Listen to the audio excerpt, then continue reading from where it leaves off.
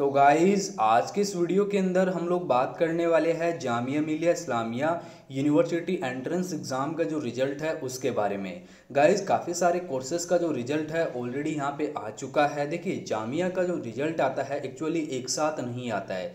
जैसे जैसे जामिया के एग्ज़ाम हुए थे, उसी हिसाब से जो है रिज़ल्ट आता है। लाइक ऐसा कोर्स जिसका एग्ज़ाम सबसे पहले हुआ था तो उसका जो रिज़ल्ट है वो सबसे पहले आता है। उसके बाद जिस एग्ज़ाम का आई मीन जो एग्ज़ाम होता है, उसका रिज़ल्ट आता है। यानी कि धीरे धीरे करके जो है जामिया के रिज़ल्ट आते हैं। और जामिया में जो है डायरेक्ट आपका लिस्ट दे दिया जाता है। जिन जिन कैंडिडेट को यहाँ पे सिलेक्ट करा जाता है, उनका लिस्ट जामिया रिलीज़ करता है रिज़ल्ट के रूप में ओके सो so, आज की इस वीडियो के अंदर हम लोग देखने वाले हैं कि किन किन कोर्सेज़ का रिज़ल्ट आ चुका है और बाकी जो कोर्स है उनका जो रिज़ल्ट है वो यहाँ पे कब तक आएगा? और आप लोग जो है रिज़ल्ट को किस प्रकार से चेक कर सकते हो? और रिज़ल्ट आने के बाद आगे का जो एडमिशन का प्रोसेस है वो क्या रहता है? उसके बारे में भी इस वीडियो के अंदर हम लोग जो है ज़िक्र करने वाले हैं गाइज़ तो देखिए रिज़ल्ट चेक करने के लिए सबसे पहले आपको जामिया की जो ऑफिशियल वेबसाइट है उस पर विज़िट करना है ओके जब आप लोग जामिया की ऑफिशियल वेबसाइट पे विज़िट कर जाते हो तो कुछ इस तरह का इंटरफेस आपके सामने यहाँ पे शो करता है गाइस वैसे आपकी सुविधा के लिए मैंने इस वीडियो के डिस्क्रिप्शन बॉक्स में इस वेबसाइट का लिंक डाल दिया है।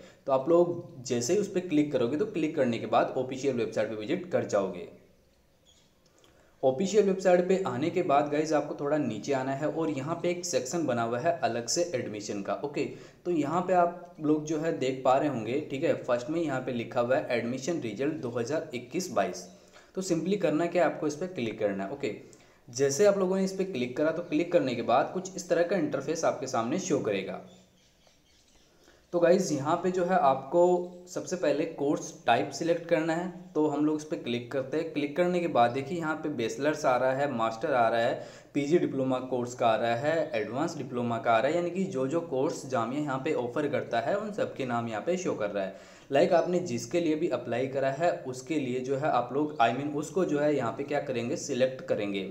जैसे कि मैं यहाँ पर जो है ये यूजी के लिए बेचलर्स यहाँ पर सिलेक्ट करता हूँ एंड फिर आपको कोर्स का नाम देना है। ओके ये सारे कोर्स है जिनका एंट्रेंस एग्ज़ाम इस साल हुआ था। लाइक कोरियन हो गया इकोनॉमिक्स हो गया फ्रेंच हो गया स्पेनिश हो गया, है ना? तो ये सारे कोर्सेज है। अब जैसे कि हम लोग यहाँ पे देखते हैं कि जैसे कल की डेट में यहाँ पे पॉलिटिकल साइंस का जो रिज़ल्ट है वो डिक्लेयर कर दिया गया था। तो सिंपली हम लोग पॉलिटिकल साइंस पे क्लिक करेंगे। उसके बाद ये जो सिक्योरिटी कैप्चा दिया गया है गाइज़ इसको हम लोगों को फिल करना है। ओके सो मैं इसको फिल कर देता हूँ यहाँ पे।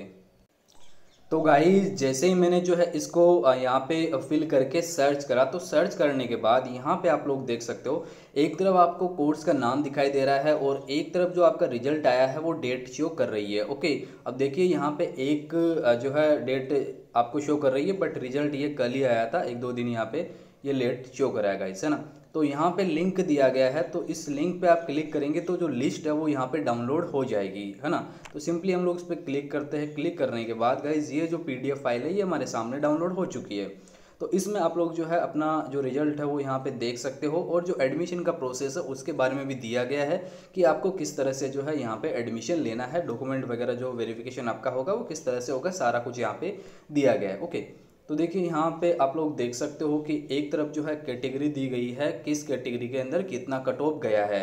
लाइक अगर आप लोग जो है जनरल के अंदर देखेंगे तो जनरल में यहाँ पे आपको सेवेंटी फोर पॉइंट फिफ्टी यहाँ पे दिख रहा है। मुस्लिम कैटेगरी के अंदर कितना गया है? मुस्लिम O B C S T में कितना गया है? यानी कि एंड मुस्लिम वुमेन कैटेगरी के अंदर कितना गया है, यहाँ पे शो कर रहा है। पीडब्ल्यूडी के लिए है है ना? तो ये सारी कैटेगरी है जो कि जामिया ने आपको फॉर्म फिल करते समय पूछी होगी। तो इनका कट ऑफ़ आप लोग देख सकते हो। अगर हाईएस्ट यहाँ पे देखा जाए तो 74 फोर यहाँ पे बीए ऑनर्स पॉलिटिकल साइंस की इस बार कट ऑफ़ गई है गाइज़ अब अगर आप लोग यहाँ पे आगे देखेंगे तो यहाँ पे एक तरफ़ एप्लीकेशन आईडी दिख रही है और एक तरफ़ आपको रोल नंबर दिख रहा है गाइज़ है ना?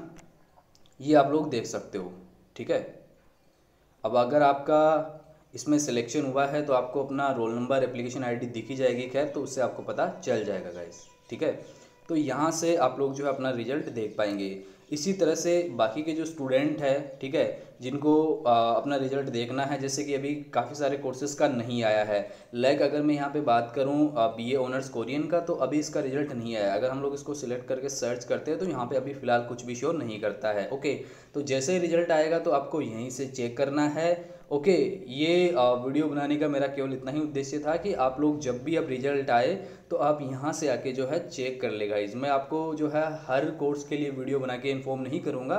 बस यही आपके लिए फाइनल वीडियो था. इसी के माध्यम से अब आप लोग जो है यहाँ पे वेबसाइट पे विज़िट करके बार बार चेक करते रहिए.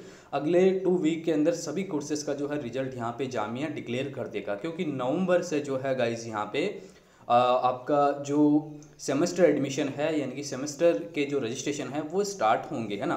सो so, इस महीने के लास्ट तक जो है सभी कोर्सेज का जो रिज़ल्ट है वो यहाँ पर डिक्लेयर हो जाएगा। तो आप इसी वेबसाइट से इसी माध्यम से आके चेक करेंगे गाइस ओके सो आज के इस वीडियो के अंदर यही इन्फॉर्म आपको करना था गाइस अगर वीडियो पसंद आया तो प्लीज़ वीडियो को लाइक करिए। चैनल पर नए हो तो चैनल को सब्सक्राइब कर लेना ताकि इसी प्रकार की इन्फॉर्मेशन आपको आगे भी देखने को मिल सके।